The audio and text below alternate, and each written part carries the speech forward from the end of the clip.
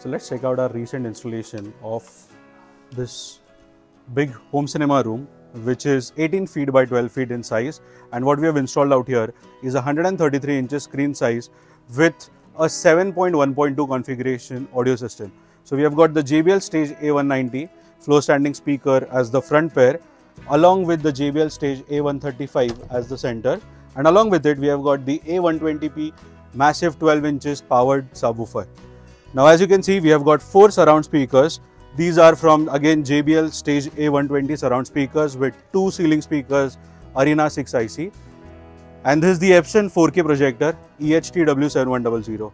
So this is the room meant for 7 people and let's check out how it looks like with the star lighting on.